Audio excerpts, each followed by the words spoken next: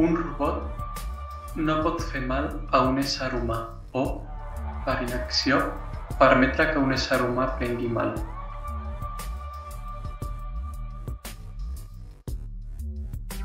Un robot ha d'obeir les ordres dels éssers humans, excepte si entren en conflicte amb la primera llei.